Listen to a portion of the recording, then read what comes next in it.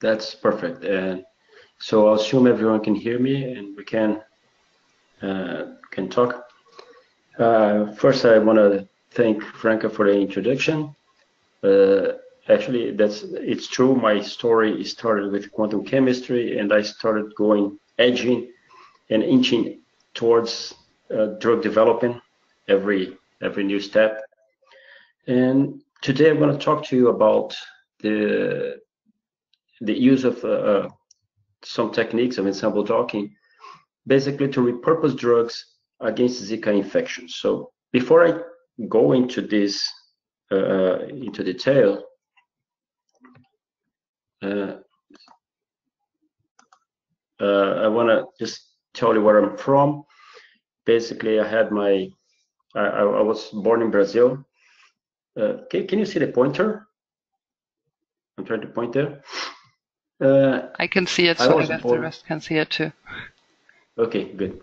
Uh, I was born uh, in this area in Brazil, Brasilia, but I was raised basically in Recife, which is the northeast, and it's a very uh, warm country. Uh, actually, this is a very warm area, basically.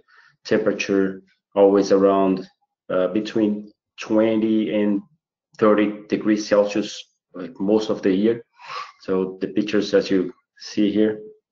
And for me, it's a bit different being being in, in the Carolina now. It's a temperature is rarely, well, basically around zero Celsius most of the time here. Uh, but anyway, uh, I'll, I'll show you a little bit about what we do so we can get to what I'm doing right now. And our interest usually is basically on the use of it started by, by using molecular dynamic simulation. So, uh, for example, I'm showing here a couple of studies that we've done. The one on the left is uh, a molecular dynamic study uh, of how DNA is transported through some uh, some proteic nanopores, and we can, with molecular dynamics, we can actually see this this process happening and in this case, we were studying how does the, this, the DNA molecule interacts with the pore. With uh, in, in that time, it was uh, the goal was to study the idea of using this nanopore for rapid DNA sequencing, so you could differentiate uh, uh how does uh, this thing happen. Uh, on the on the right side, you have a simulation that we've done for small peptides this is like 30 to 40 uh, residues.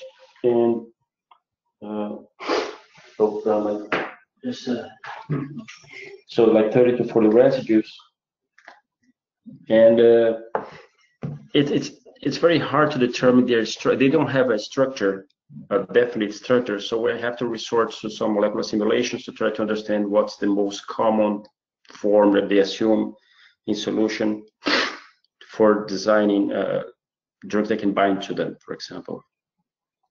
And other things interesting is a collaboration that we have with another professor in the laboratory in the in the university, João Bosco, about uh, how does uh, we can use molecular dynamics also to understand about the stability of, uh, for example, in this case, of DNA in some different environments. Right, I'm just putting it there to show a little bit what we do. Uh, another student of mine is studying uh, an, an alternative mechanism for this T-cruzi uh, enzyme called the transialidase. It has to do with the way Trypanosoma cruzi evades the the immune system. So this this enzyme is, is responsible for the mechanism by which, which it evades the immune system, and we're looking into how exactly does it work? So that would be uh, to give us, an, us an, a better idea of uh, different possible treatments. And one is, uh, that I think is a very interesting thing is that we can go a little bit beyond what regular molecular dynamics can do. We can do quantum chemical simulations mixed with molecular dynamics. There's the QMMM techniques to actually study reactions that can happen in the protein. And those reactions, they, uh, it, it, this cannot be simulated with regular molecular dynamics. We need a we need to put quantum mechanics with it. And in this case, it's a study done by uh, Maria Carolina, which is was a, a postdoc in our lab. Uh, she did a PhD with us and was a postdoc for some, for a while, where they could actually study how the, the dengue protease works, and we could map this uh, mechanism in detail. This is very interesting for developing a new binder for dengue. We had a different study on this. Uh, I, I could show it another time. Uh, and something that's related to it, we're doing that similar study now with the yellow fever uh, protease. It's a the yellow fever is another viral uh, disease that's it's coming back again in Brazil. It, every once in a while it pops up again. So we're actually studying the possibility of creating a, a new drug specific for yellow fever. So you see, our our focus is uh, in a most of the time is focused on, on those that so-called neglected tropical diseases, and uh, another way we can tackle it is uh, after, we can also do. Oh, uh, most people have heard about the docking technique. So in this case, we can actually scan databases. Once we have a structure, we can use databases of molecules and scan them through docking to find possible ligands that could be better uh, inhibitors for the, the protein. Okay, so that's the idea of using docking to it. So another thing we also look there is is this. Uh, so uh, well, and, another thing that we've been trying to do is to create a database. Um, I'm sorry for the Portuguese there, but uh, it's basically creating a database of molecules that have been tested against those neglected diseases. So basically, we have uh, have a student that's just scraping data from publications and uh, and try to get data about uh, structure and uh, uh, PK uh, IC50s, EC50s of those molecules that we can use for future uh, uh, modeling. Well, but our our interest today is talking about our work with the Zika virus. So I'll give you a little bit of an introduction on Zika, so you you see the, the you you get a better idea of the problem we're facing here. Uh, and uh, Zika is a mos mosquito-borne disease. That means uh, it's the, the vector, what, what carries the disease is a mosquito. In this case, there's a specific mosquito, which is the Aedes aegypti, that carries Zika virus, and not only Zika virus. This, this mosquito, mosquito carries other viruses uh, like dengue, it's very well known, chikungunya, uh, and there's some evidence that it can also carry the yellow fever this this uh, it's a kind of a mild disease, just flu-like symptoms. Okay, and uh, it's mostly found in tropical and subtropical climates, and that is uh, because the to spread the disease, the mosquito needs to well, you need the mosquito as the vectors. Uh, I'll show in a in the next image. Uh, and this mosquito is very well adapted to reproduce in urban environments. So we can lay its eggs on any uh, any amount of water in a couple of, in, in like seven days. This eggs turn into new mosquitoes, and it used it to be that it could only use clean water, but now studies have shown that it's already adapted to use uh, even uh, dirty water so it's evolving on this uh, it's quickly evolving on this this thing. And in those tropical climates we have a lot more humidity around and uh, good temperatures for it to reproduce.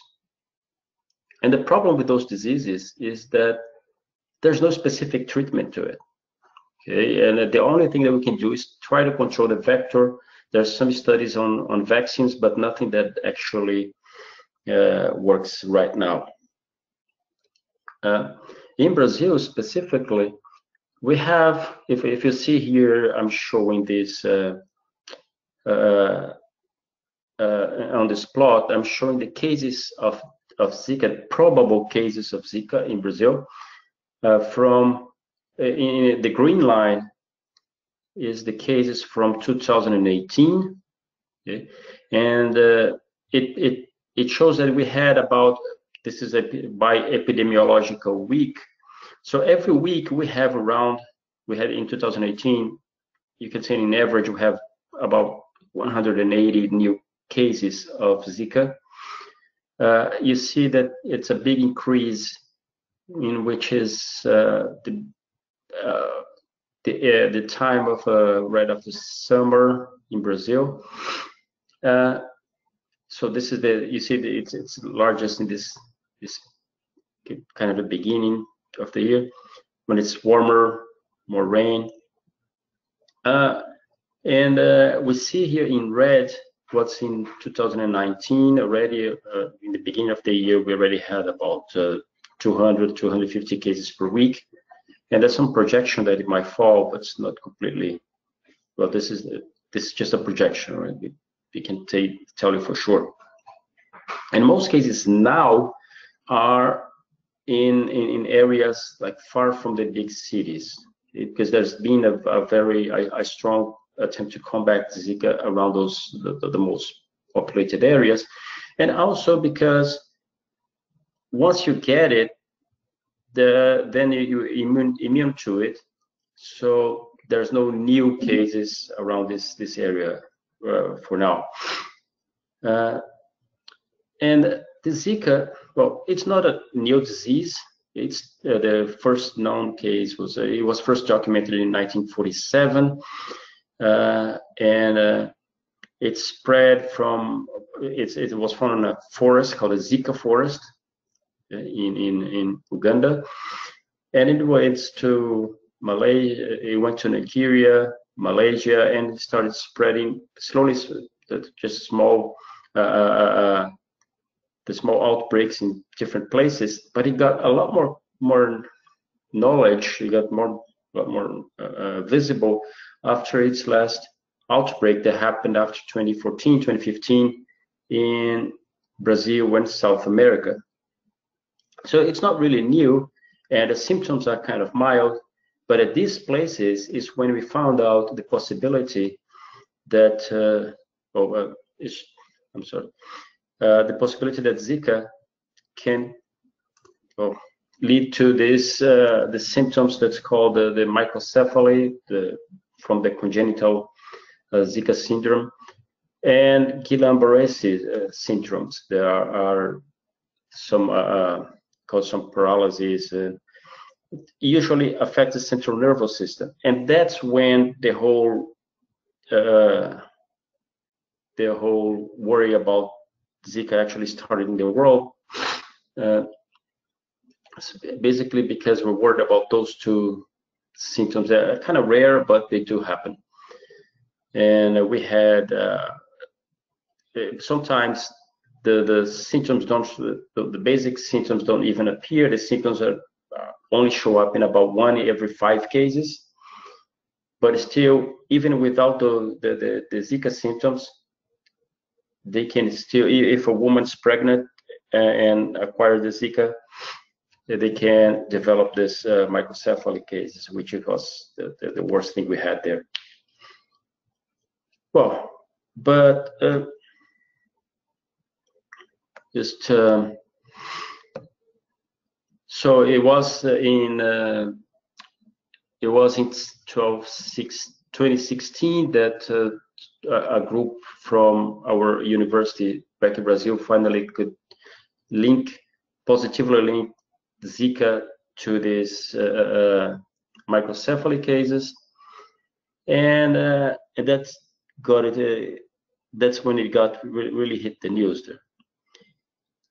And the problem with those is that how can we combat those viruses? In most cases, there are some works, uh, some some vaccines in being studied now. And uh, some uh, vaccines in development, they have they still couldn't solve all the, the details on the vaccines. There's something about the cross reaction with dengue and possible uh, possible problems with the dengue or when, when a person gets dengue after Zika. And so, so there's still not, there's work ongoing, but it's still not uh, developed. So most of the efforts from governments basically are in the combat of the vector. So, and that means uh, educational work, trying to educate people to not have water in their home, uh, standing water that could be used for the, by the vector to reproduce. And, and that's basically it. That's all that the government, and this is all dependent on government policy of the moment, whatever is working, uh, whatever the, the, the political uh, bias of the moment is working. But as far as drugs from what after you already get the disease, well, there's no. Okay, so there's nothing you can do once you already get the disease besides taking Tylenol and water. So the the the efforts on vaccines are very important. The efforts on the vector are important, but we also consider that having a specific drug, it's important after you already get the disease. And one example of this is what happened to yellow fever that we had vaccine for yellow fever, but for you know, problems in public policy, not enough money to vaccinate everyone, and so suddenly we saw last years, last couple of years, we saw resurgence of yellow fever in some areas in Brazil. They're close to the habitats of, uh, close to the jungle habitats, so they could get the, the, the disease just started reappearing there, something that was supposed to have this to have been uh, eradicated long, long time ago. And still, the diseases can come back, so it's always good to have to know what we can use against it. So our efforts are basically in trying to develop new drugs that can be used specifically against the disease for someone who already got the disease. So let's take a look at the Zika virus to understand a little bit more about it. Uh, and the Zika virus is a uh, flavivirus okay, from the Flaviridae family. And if we uh, take a look here on this section of this uh, of this phylo phylogenetic tree, you'll see that Zika virus is uh, there's some strains of Zika here. Uh, it's very related to this uh, Japanese encephalitis virus and to yellow fever virus and dengue. Okay, so they're very similar types. So both all of those are flaviviruses. Uh, just together with uh, with uh, hepatitis C virus and, and, some some other in this family. And it has the, the, the Zika is known for there are three known lineages of Zika. The one that's the, the West African, which is the, the oldest one, and it's uh, it uh, kind of split into what happened in East Africa and the Asian and this Asian lineage is one that, that was uh, located in Brazil 2015 and uh, in uh, and uh, uh, in the, the, the, South America. Uh, as for the, the morphology of the virus, this virus it, it makes an icosahedral capsid. It's like a, a little ball uh, and uh, it it has a, a, number of different proteins that make this this capsid, and those proteins enclose a positive sense RNA inside. So when it gets into the cell, the cell, this uh, basically the the virus, it's uh, it gets into the cell. It's uh, this uh, it's endocyted into the cell.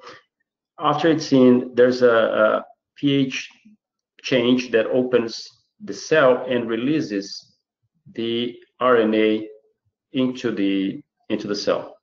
Okay, and when it's into in the into the ER at this pH, it starts reproducing and making more uh, more and more copies uh, of itself. The uh, and in this in, in this system here, it needs this RNA will need some of our own machinery from the, in the that's in the in the AR to reproduce to turn this RNA into proteins into the, the proteins that make up the virus. Okay.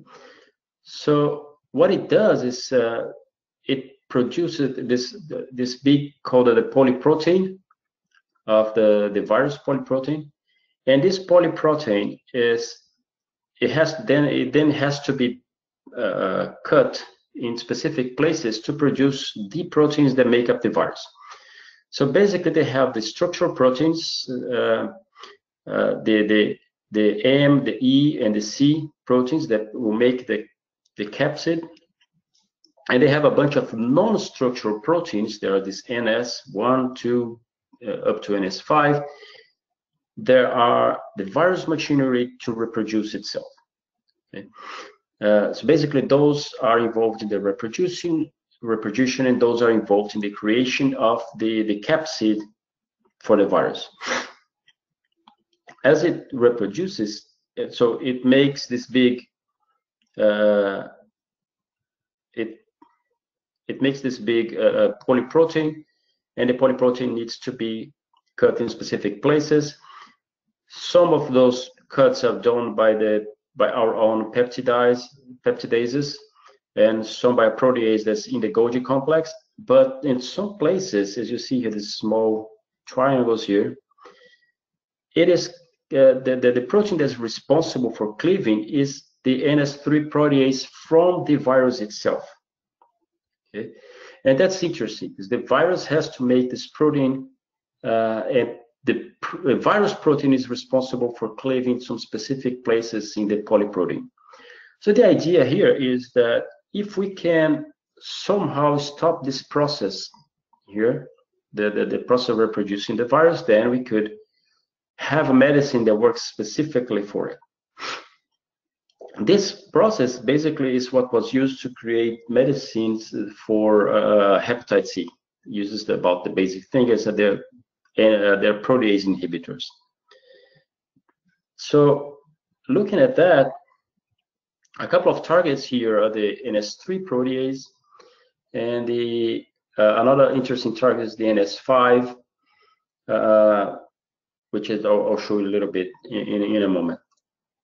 So what we've done, uh, one one example that we've done, I'm not going to talk too much about it now, but we use it hybrid QMMM calculations to understand the mechanism of the Zika virus, the reaction mechanism here, which would allow us to search for better uh, uh, compounds that kind of mimic the transition state of the reaction, but I'm not going to go into details on this. Uh, what I'm going to talk today is something that started with uh, Biosolvit scientific challenge that was in spring 2017. It took a little bit longer than we expected at the time, and for, for to realize, but actually the job actually went further than than, than we expected at, at that time. But it's a very interesting challenge. I actually recommend anyone to with, with some interest in it. If you have some project there, I really recommend it uh, to apply. Uh, but what what was born from this are two things. The first um, I'm going to tell you about so this uh, uh, high throughput screening, but it's a virtual high throughput high throughput screening to this NS5 RGRP, which is RNA dependent RNA polymerase. And uh, this this uh, uh, uh, protein has has the function of unwinding the RNA so it can be reproduced, so it can be copied by the, the machinery there. And in our case, we were basically we were approached by professors Lindomar and Ronaldo Oliveira from Recife, in that they found out this molecule, that's uh, uh, 6-MMPR, could experimentally inhibit this NS5 uh, RGRP in the Zika virus. So we wanted to find out how it does because we all we had is data is that that it does inhibit the action inhibit the, the virus growth so how we can do it we try to find out how it works and uh, if it's possible to generate new molecules that are at least as active as this one so this the, the procedure that we used was uh, basically first tested this flex method we searched for a binding site on the surface of the protein. We created a pharmacophoric model based on the uh, on the uh, on the on the substrate, and then we used this model to filter a database of compounds. We could refine the final compounds we got. We could refine with height, and we could get some interesting results there. So just to show you this, uh, what uh, the redocking part when they actually tested the method, we used it. There were no structures with a ligand for the NS5 from Zika, but there was a very related one from dengue virus with a with a, a ligand bound, and we could basically reproduce the same structure there. We looked at the many different pockets in the surface of the protein. We actually tested uh, bind, uh, tested binding this uh, the ligand into every one of the possible pockets in the surface of the protein, and we saw that the most uh, uh, that it, the the best results was really with the structure of it bound exactly on on top of the crystal structure. So it was very nice results showing that the method works well for this kind of enzyme. So we could use it to the Zika one, which is very much related to it.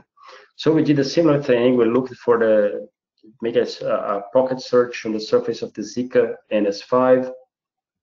We could find some neighbor pockets here, uh, uh, as I'm showing in this picture.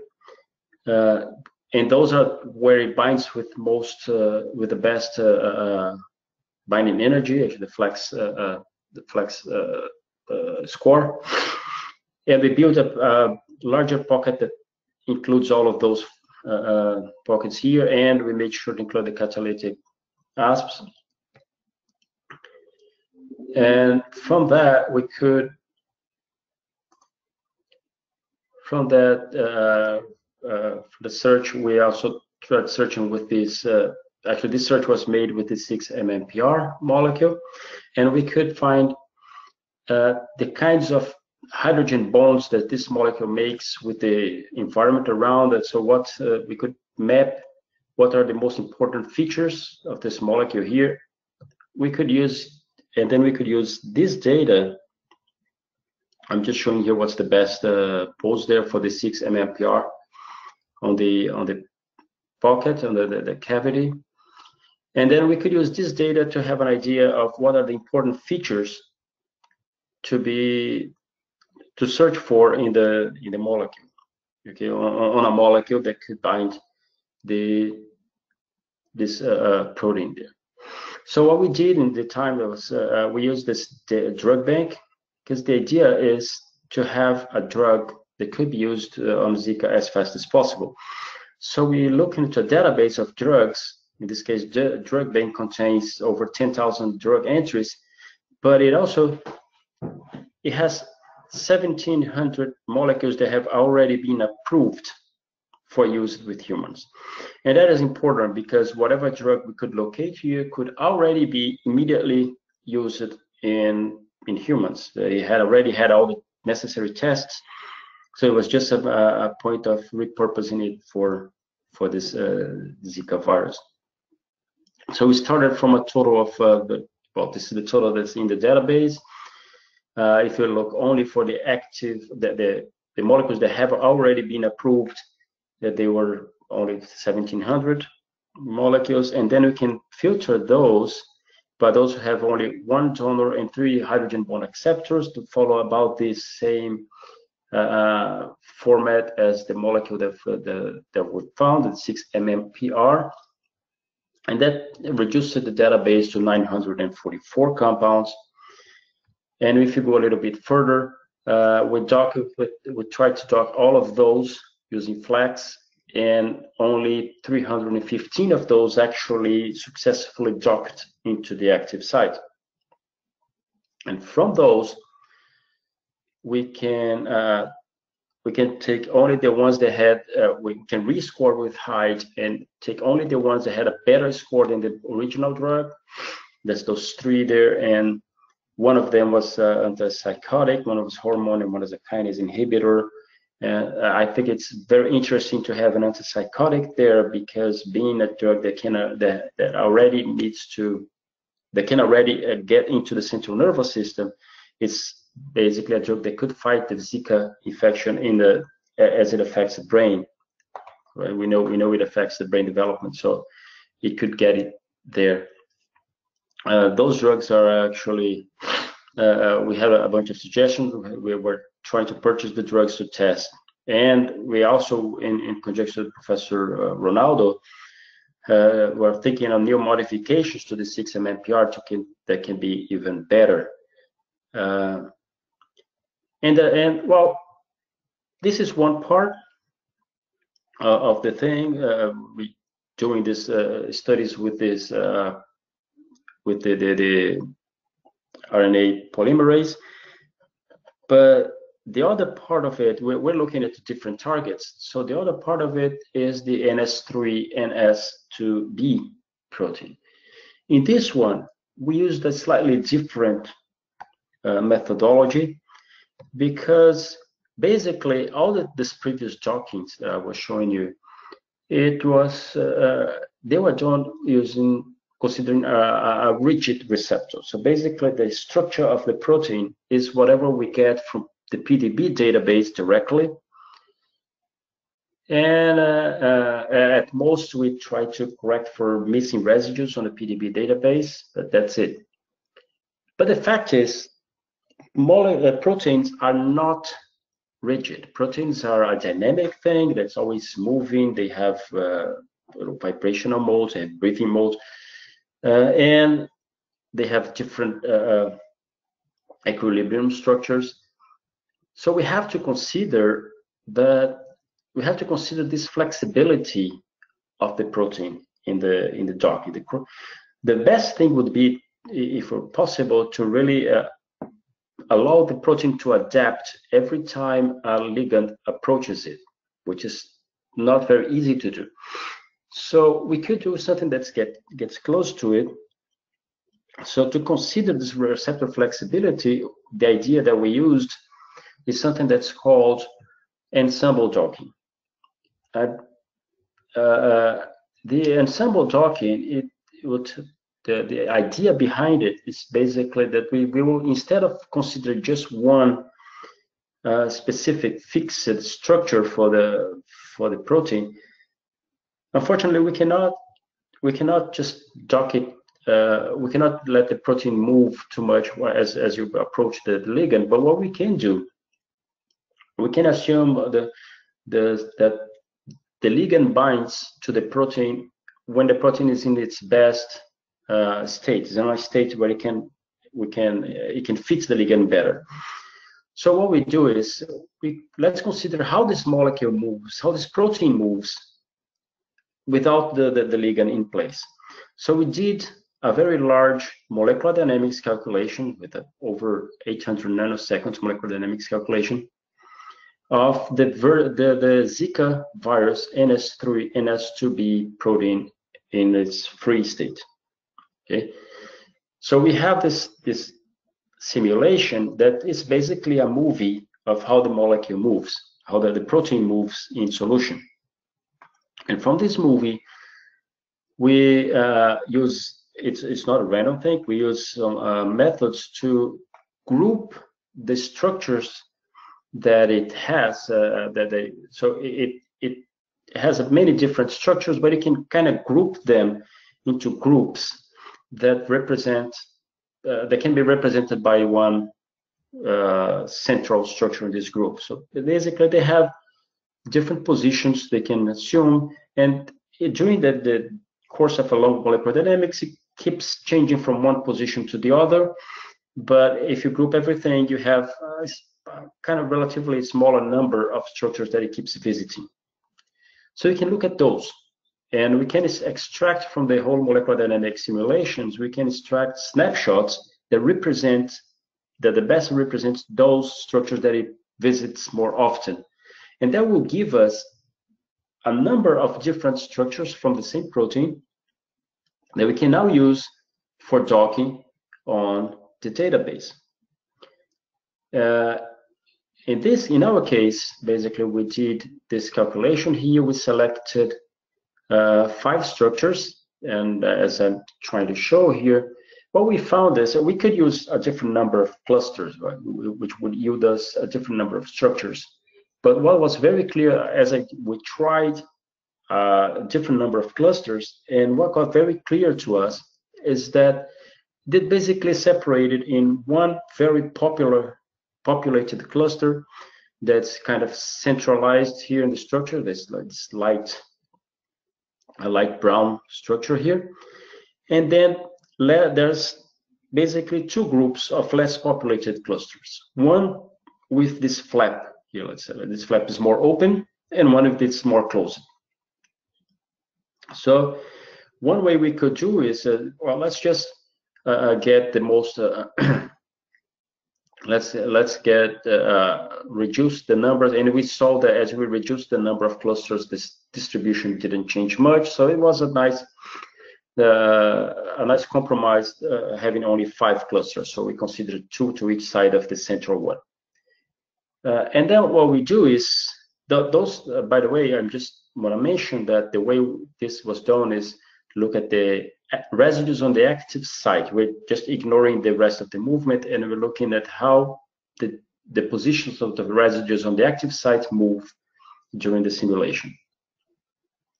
So uh, in a in a large number of clusters, you see basically 15,000 frames fall into this first one in the first category category, and the others are kind of distributed around it.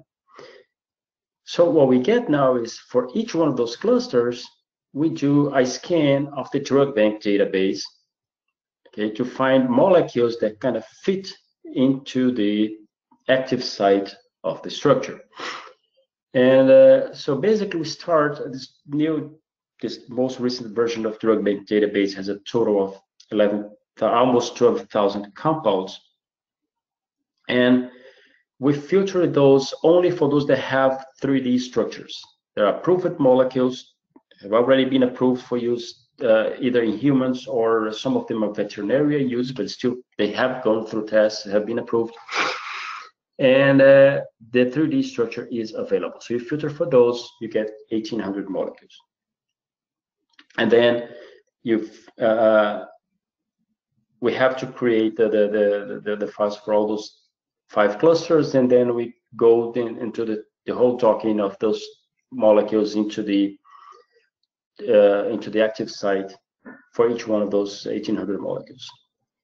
So what we find is uh, if you look at the, each one of the structures, we find, uh, looking at the, so basically we have for each one of the clusters, we do the docking of those 1800 molecules. And then we're looking now only at the 100 best molecules, the, molecule, the 100 molecules with the best uh, uh, binding energies from the whole set, okay, in each one of the clusters.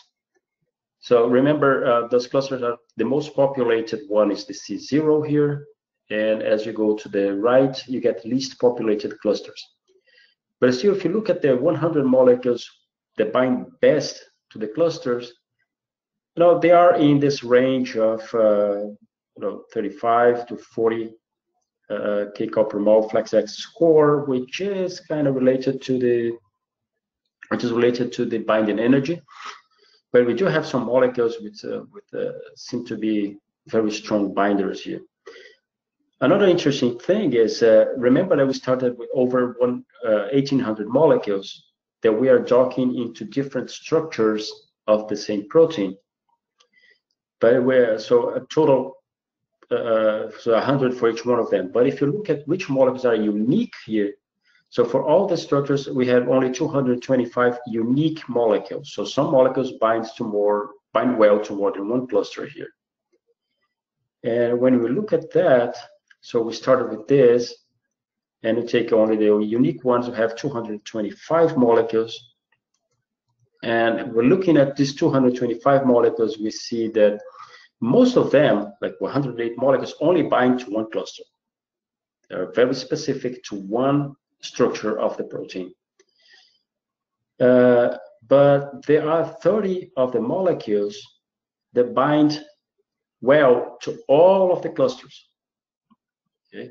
And this is interesting because it, it will be able to inhibit the, the, the, the, structure, will be able to bind to the enzyme at whatever position it is, basically. So we chose those 30 molecules to take a closer look. And uh, into those, I'm just going to show you this. So we're looking into now, we're now looking into purchasing those molecules so we can test them against the, the, the, the virus.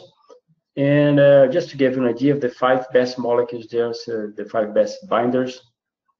Okay, uh, this is a one is a kinase inhibitor that's used for leukemia and gastrointestinal tumors. One is an antibiotic. Actually, two of them is an antibiotic. One is a, a chelator that's used in Wilson's disease, and the other one is another kinase inhibitor, but used for tumors in animals. So uh, this is uh, basically what I uh, what we've done on the on this. I just want to thank you for your uh, kind uh, attention here, and I need to acknowledge uh, some people that work with us that that, that make this possible. this the, the Center for Supercomputing that we used for running the simulations, the, the companies that paid some of the materials that we used for our collaborators. FACEP is our uh, local uh, funding agency that actually pays for the machines that were that used. Professors Lindomar and Ronaldo are the ones that came initially with the idea of the 6-MMPR molecule to be used uh, I also collaborate with Professor John Bosco on a different project that I showed there. And some of the students that are responsible for the actual hard work involved in this. But with that, I'll, I'll thank you. Uh, I'll close and I take any questions you can have. Thank you. Thank you, Gustavo, for this very interesting lecture and for the good comic. And uh, whilst you can type in your question, I just want to uh, put your attention to the scientific challenge in which Gustavo took part of. It's uh, free access to our software for academics, and the best person or the best proposal can win a travel grant. Unfortunately, Gustavo only got second. I don't know why, but he must have had a very difficult year. And uh, with that, I would come